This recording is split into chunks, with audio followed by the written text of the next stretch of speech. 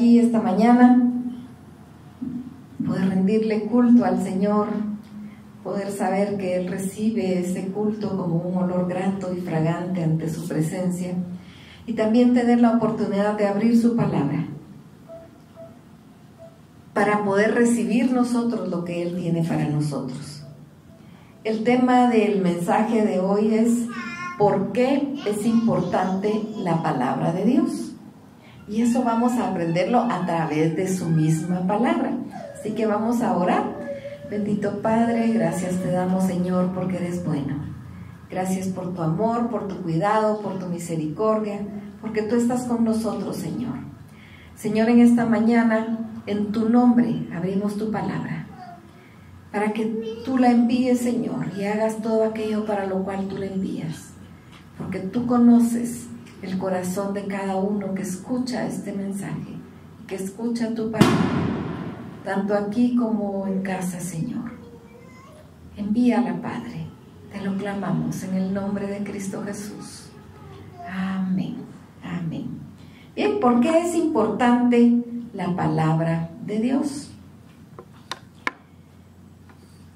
Es eh, a través de la misma palabra de Dios que nosotros podemos entender la importancia.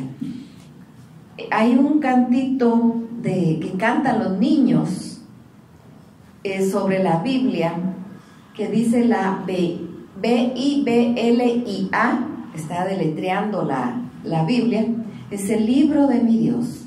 En ella tan solo confío yo, la B-I-B-L-I-A. Y, y, y así el niño va aprendiendo aun cuando no logre deletrear, y después cuando ya logra deletrear, y ya no solo deletrear, sino empezar a leer y a memorizar pasajes de la palabra de Dios. Pero la realidad es que en la misma Biblia nosotros encontramos por qué es que nosotros tenemos que leer la palabra de Dios, porque es importante la palabra de Dios. Y en primer lugar, porque el mismo Señor Jesucristo lo dijo. Veamos lo que nos dice Juan 5:39. Juan 5:39, estas son palabras de Jesucristo y es Él quien está hablando, así que Él es quien nos da esta orden. Dice, escudriñad las escrituras, porque a vosotros os parece que en ellas tenéis la vida eterna, y ellas son las que dan testimonio de mí. Jesucristo está mandando a que escudriñemos. Escudriñar es buscar y buscar. No es solo dar una, una media leidita, no, es meternos en la palabra. Es empaparnos de la palabra, conocer la palabra. Porque al conocer la palabra de Dios, conocemos a Dios. Entonces Él dice escudriñar las escrituras porque a vosotros os parece que en ellas tenéis la vida eterna. Nosotros pensamos y sabemos que en ellas encontramos la vida eterna porque en la palabra encontramos a Cristo. Y Él es el camino, Él es la verdad y Él es la vida. También veamos lo que nos dice 2 Timoteo 3:16.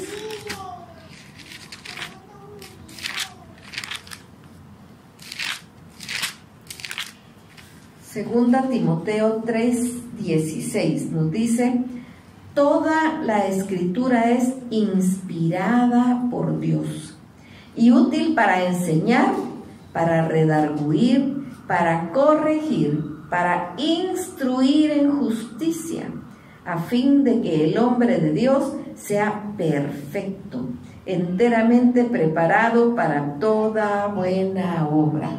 Nos dice que toda la escritura es inspirada por Dios. Fue Dios quien la inspiró. Es palabra de Dios. Él es el que nos está dando su palabra. Por eso es que cuando la estudiamos, lo conocemos a Él. Y nos dice que es útil para enseñar. Sí, aquí aprendemos. Hay tanto en la palabra para, para aprender. Y solo para poner un ejemplo, nos dice la palabra en Proverbios que no debemos salir fiadores de nadie en una deuda. Algo tan sencillo y tan práctico para la vida. ¿Cuántas veces nosotros eh, recibimos la petición de algún amigo o de alguien que nos dice, fíjate que necesito hacer un préstamo, eh, ¿me puede servir de fiador? O quiero comprar algo a plazos, ¿me puede servir de fiador? Pues sí, yo desde niña recuerdo que mi papá pagó una refrigeradora que gozó otra familia,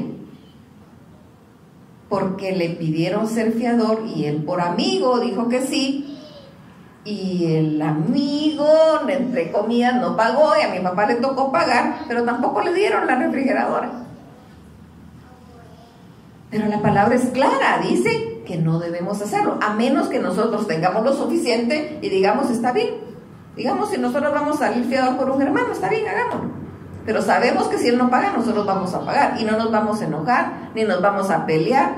No, está bien, yo lo, lo doy y yo sé que si, no, si él no paga, yo pago. De lo contrario, no lo hagamos. Así que sí, es útil para enseñar algo de la vida cotidiana, ¿verdad?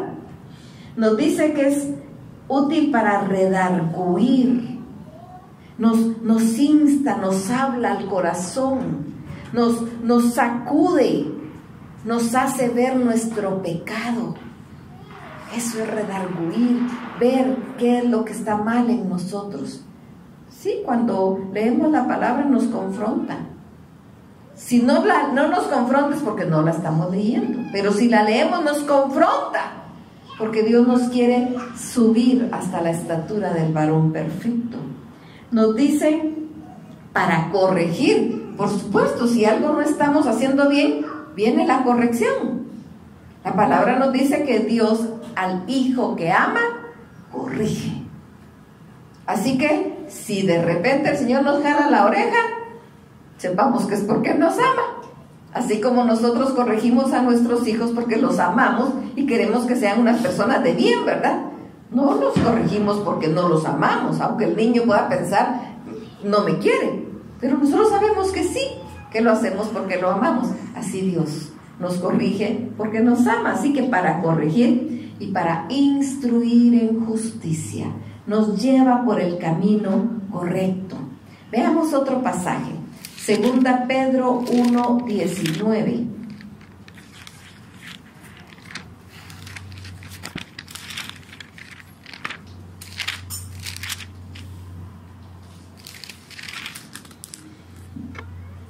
Tenemos también la palabra profética más segura a la cual hacéis bien en estar atentos como a una antorcha que alumbra en lugar oscuro hasta que el día esclarezca y el lucero de la mañana salga en vuestros corazones. Tenemos también la palabra profética más segura. Hoy en día cualquiera se levanta y dice, dice el Señor. Y tal vez el Señor no está diciendo nada. ¿Cómo podemos saber si lo que está diciendo la persona es la palabra de Dios? Pues la Biblia nos da el secreto. Dice que si se cumple lo que el profeta dice, es palabra de Dios. Como dijo Micaías cuando le dijo al rey, veo como al ir a la guerra vas a morir. Y el rey dice, métanlo al calabozo y no sale hasta que yo regrese. Y Micaías le dice, si tú regresas, Dios no habló por mí. Y por supuesto no regresó. Porque sí, Micaías era un profeta de Dios. Pero también nos dice la palabra, incluso desde el Antiguo Testamento, hay de los profetas que dicen, dice el Señor, y Dios no he dicho nada. Nadie, ninguna persona que diga que habla en nombre de Dios va a decir algo que esté contra la palabra de Dios la palabra profética más segura es esta, es la Biblia, la palabra de Dios. Si nosotros queremos que Dios nos hable, estudiemos su palabra. Por eso es importante leer, conocer, estudiar, escudriñar la palabra de Dios. Veamos Salmo 19, 7.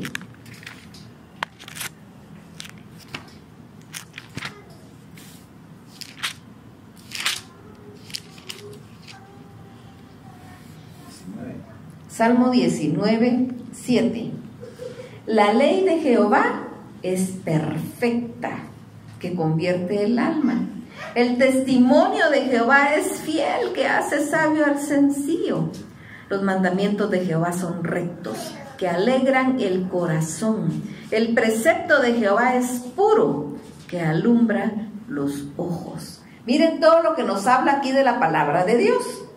Nos dice que su ley es perfecta, definitivamente, porque todo lo que él hace es perfecto. Es tan perfecta que convierte el alma, toca nuestro corazón, nos llega hasta lo más profundo, hasta el tuétano, nos dice la palabra. El testimonio de Jehová es fiel, que hace sabio al sencillo. En la iglesia primitiva, como la mayor parte de gente pues no tenía ninguna preparación, todos los miraban como gente del vulgo, como gente bárbara, como gente sin conocimiento, pero de repente empiezan los llamados a sí mismos sabios, que eran llenos de, de palabra y de filosofía, a decir, ¿por qué estos iletrados tienen tanta sabiduría? Ah, porque la palabra de Dios hace sabio al sencillo. El sabio no es tener tanto conocimiento, el sabio es saber hacer lo que tenemos que hacer cuando lo tenemos que hacer. Y eso solo Dios lo puede traer. Los mandamientos de Jehová, nos da mandamientos, son rectos y tienen que alegrar el corazón. Tiene que haber un deleite en nuestro corazón por hacer las cosas bien hechas, porque eso es lo que agrada a Dios. Y el precepto de Jehová es puro que alumbra los ojos. Por eso es la que nos alumbra el camino, para que no andemos en, en, penumbra. Si nosotros pensamos, ¿qué es lo que Dios demanda de mí? Veamos lo que nos dice Miqueas 6, 8.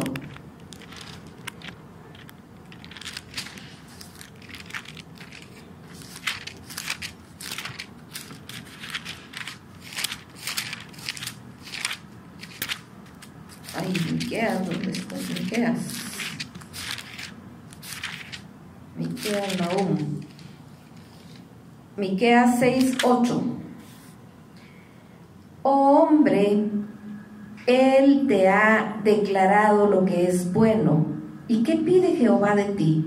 Solamente hacer justicia y amar misericordia y humillarte ante tu Dios. Así que si nosotros nos preguntamos, así como tantas preguntas que nos hacemos, pero ¿y qué es lo que Dios demanda de mí? Sí, su palabra lo dice. Aquí dice claramente que lo que Él demanda de nosotros es que hagamos justicia, que amemos la misericordia y que nos humillemos ante Dios.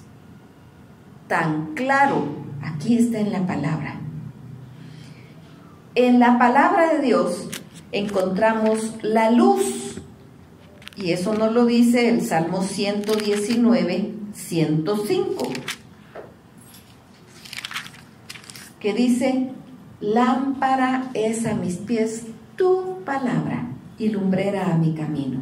Si nosotros vamos a una, pues ahora actualmente hay energía eléctrica y todo está iluminado, pero si vamos a una excursión y vamos por un sendero, y no hay energía eléctrica, encendemos una linterna, llevamos una linterna o llevamos una lámpara para que nos vaya iluminando el camino. ¿Qué pasa si nosotros vamos por ese sendero, por este extravío y no llevamos luz? Y es un lugar que no conocemos. Pues nos podemos caer en un precipicio que ni siquiera vemos que ahí está. O podemos tropezar en una piedra que está ahí en el camino y no la vemos. Porque no llevamos luz. Ese sendero, ese extravío es el mundo. Y nosotros, como hijos de Dios, vivimos en este extravío, en este mundo extraviado de la verdad. Y tropezamos una y otra vez si no tenemos la verdad en nuestra vida.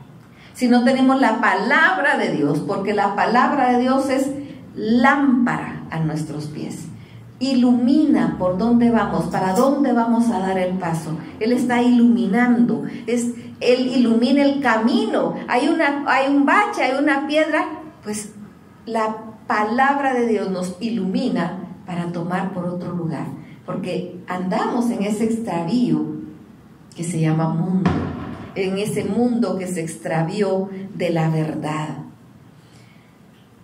Veamos lo que nos dice Juan 8:31.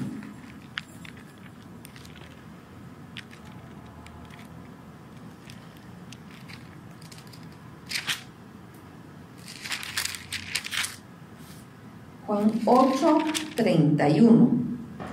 Dijo entonces Jesús a los judíos que habían creído en él, si vosotros permaneciereis en mi palabra, seréis verdaderamente mis discípulos y conoceréis la verdad y la verdad os hará libres. Dice, si vosotros permaneciereis en mi palabra, ¿cómo podemos permanecer en lo que no conocemos? ¿Cómo podemos permanecer en Cristo si no conocemos la palabra de Dios? No podemos. ¿Cómo podemos decir, hay un canto que dice, todas las promesas del Señor mías son? En la Biblia yo las leo y yo sé que es la verdad. Todas las promesas del Señor mías son y bonito pues poderlo cantar, pero y si no leemos, ¿cómo sabemos cuáles son las promesas de Dios para nosotros? ¿Cómo sabemos qué es lo que Él nos prometió si no leemos su palabra? ¿Cómo sabemos cómo el Señor dice que Él va a vengar a todo aquel que le ha sido arrebatada su vida desde Abel? ¿Cómo sabemos que Dios, que Jesucristo fue a preparar un lugar para que donde Él está, nosotros también estemos. ¿Cómo sabemos que nosotros como su iglesia somos la novia del Cordero? Y Él nos está preparando para las bodas del Cordero. ¿Cómo sabemos que en el mundo tendremos aflicciones, pero debemos confiar porque Él ya venció al mundo? ¿Cómo sabemos eso? Porque leemos su palabra. Por eso es importante leer su palabra. No solo escuchar lo que dice otra persona, porque la palabra del ser humano es muerta, la palabra de Dios es viva y es eficaz y es más cortante que toda espada de dos filos. La palabra de Dios no está muerta. Por eso nosotros podemos leer la Biblia una vez y otra vez y otra vez y mil veces y nunca nos la vamos a acabar. Siempre vamos a encontrar algo especial y de repente decimos, pero yo este pasaje no lo había leído. Y tal vez hemos leído la palabra muchas, muchas veces. Pero de repente el Señor nos ilumina en ese pasaje. Lo que estamos viviendo en ese momento, el Señor nos lo ilumina. Por eso la palabra de Dios es viva, porque es palabra de Dios. Veamos lo que nos dice Tito 3.8.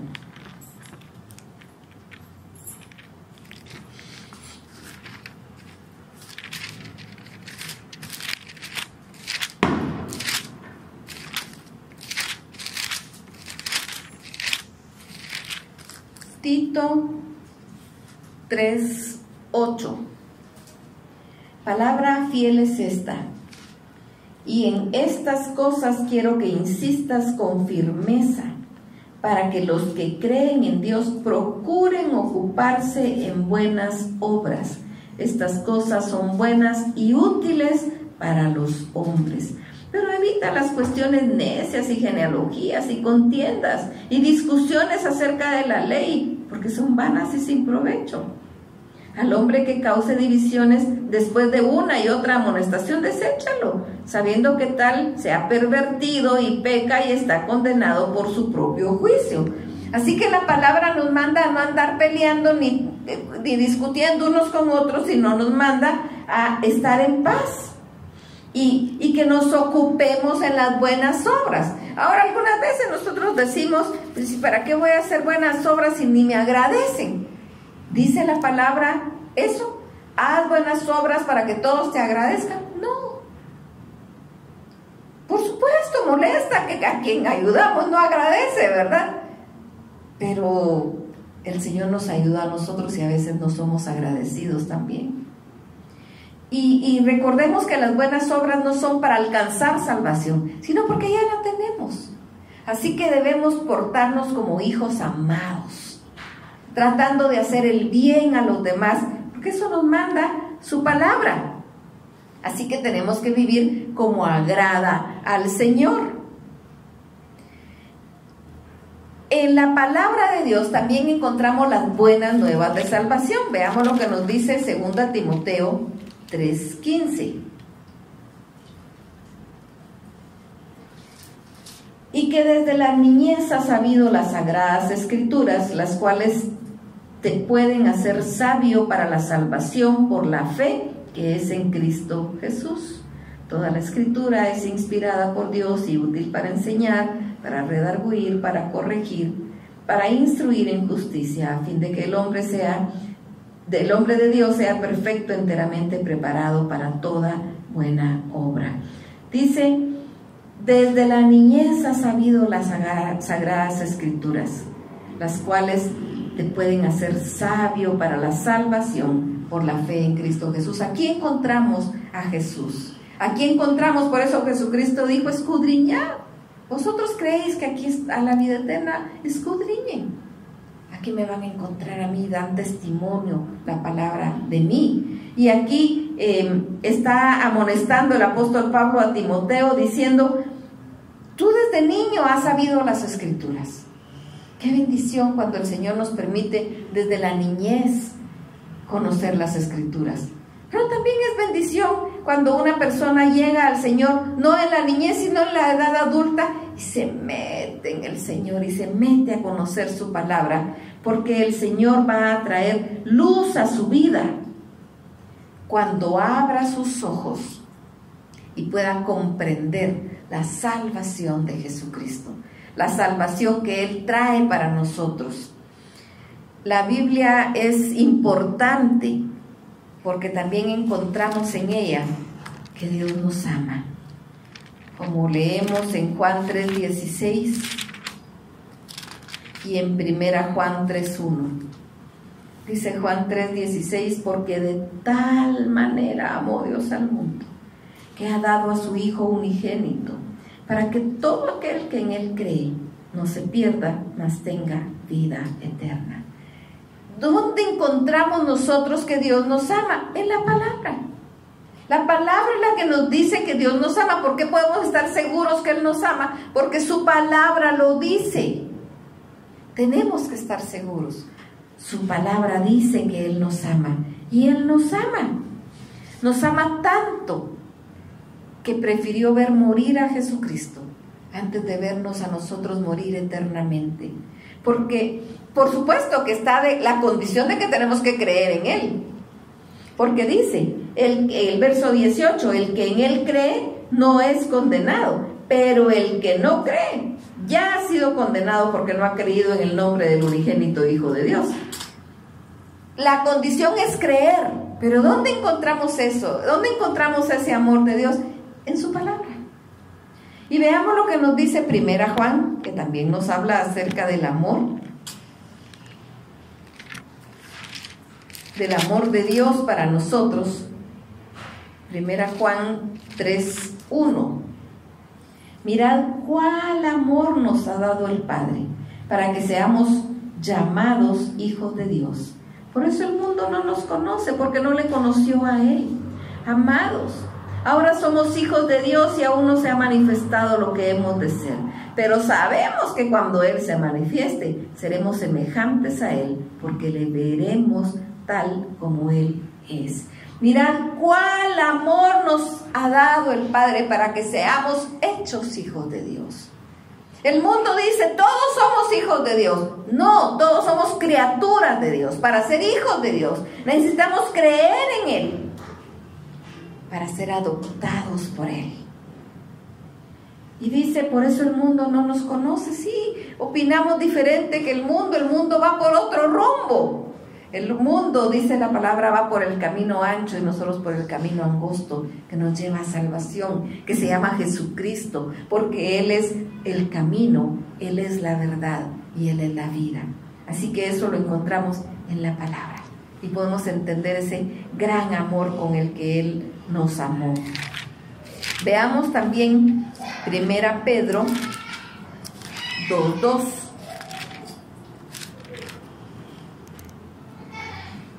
Desead como niños recién nacidos la leche espiritual no adulterada, para que por ella crezcáis para salvación si es que habéis gustado la benignidad del Señor. Me encanta este pasaje. El Salmo 1 nos dice que la, ley de Jehová sea nuestro deleite. Y por eso dice, desead como niños recién nacidos la leche espiritual no adulterada. ¿Y cuál es la leche adulterada? A la que le ponen otros aditivos, otras cosas, que no es la, pura leche. ¿Por qué hay tanto estudio y tanto se enseña sobre, sobre la leche materna, sobre todo lo importante, los beneficios de la leche materna? Porque no es adulterada. Pero ¿cuándo la palabra de Dios llega a ser adulterada? Cuando nosotros solo escuchamos lo que otro dice o leemos y estudiamos lo que alguien estudió de la Biblia, pero no nos vamos directo a la Biblia. Necesitamos irnos directo a la fuente. Gracias a Dios tenemos la palabra de Dios con tanto acceso como nunca ha habido. Nosotros podemos encontrar una Biblia en, en 17, 18 quetzales, una Biblia completa. Podemos encontrar, por supuesto, una carísima, pero también hay baratas. Es más, podemos ni siquiera tener que comprar y, la usar, podemos bajar una aplicación en el teléfono y ahí tenemos la Biblia. O si no tenemos un teléfono en el que se pueda bajar aplicaciones, en una computadora. Ahí encontramos la Biblia. Así que esta época, nosotros no podemos decir es que no tenía una Biblia, por eso no la estudié. Nosotros necesitamos desear como niños recién nacidos la leche espiritual no adulterada. Por eso es que a mí muchas veces no me gustan las Biblias de estudio o no las recomiendo para alguien que esté empezando en el cristianismo. No las recomiendo porque la Biblia de estudio tiene un párrafo muy grande de lo escrito por el hombre donde está tratando de explicar lo que dice la palabra. Y lo que de la palabra es un pedazo pequeño y la explicación es lo grande. Y muchas veces la gente dice, mejor voy a leer solo la explicación porque así lo entiendo más. Se está exponiendo a palabra de hombre, no se está exponiendo a la palabra de Dios. Pero cuando nos exponemos a la palabra de Dios, Dios nos habla. Y si bien es cierto, hay buenas partes que no entendemos, no nos preocupemos por lo que no entendemos. Gocémonos por lo que sí entendemos. Porque hay tantas cosas que son un misterio y que vamos a entender al estar con el Señor. Pero que Él nos amó, que Él nos amó tanto que envió a su Hijo a morir por nosotros, eso sí lo entendemos. Así que si entendremos Juan 3:16, no nos preocupemos por lo demás, pero estudiémoslo. Si a Dios le place en su momento, nos va a revelar. Si hay algo que nosotros hemos leído y no lo comprendemos, no nos quedemos atorados diciendo ya no voy a leer más hasta que entiendan. No, no nos quedemos atorados. Sigamos estudiando, sigamos estudiando, sigamos leyendo, sigamos investigando. Eso va ministrando nuestro corazón, va llenando nuestro, nuestro banco espiritual para cuando lo necesitamos. De repente el Señor abre nuestros ojos y decimos, eh, esto quería decir. Pero ¿cómo nos damos cuenta? Porque ya nos hemos expuesto a la palabra. Así que estas solo son algunas de las razones por las que es importante conocer la palabra de Dios, por las que es importante exponernos a la palabra de Dios. En resumen, podemos decir, ¿por qué es importante la palabra de Dios? Porque es palabra de Dios, simplemente. Ahí lo encontramos a Él, ahí lo conocemos a Él. Así que si hemos pensado que la Biblia solo sirve como somnífero porque no logramos dormir y abrimos la Biblia para ver si nos dormimos, a mí no me gusta leerla de noche porque me pica, entonces sigo leyendo y leyendo y entonces ya no me duermo, por eso prefiero no de noche. Eh, prefiero estudiarla de día, eh, porque me despierta más. Eh, sí, no es un somnífero no es un castigo. Hay madres que le dicen al niño, sí, por malcriado, ahora se pone a leer el Salmo 1. Entonces, ¿qué piensa el niño? Leer la Biblia es un castigo. Entonces, salir creciendo, lea la Biblia. ¿Y qué hice mal? No, es que es deleitarnos en la palabra. No es un castigo, es un deleite. Así que espero en el Señor que realmente ahora entendamos porque es importante leer la palabra y llenarnos de Él. Bendito Padre. Gracias te damos, Señor, por tu palabra. Gracias porque tú eres bueno. porque tú no nos dejaste solos, porque enviaste al consolador, el Espíritu Santo que mora en nosotros, tus hijos, y nos dejaste tu palabra para que sea lumbrera nuestro camino, que sea lámpara nuestros pies, para que ilumine nuestro andar en este mundo extraviado.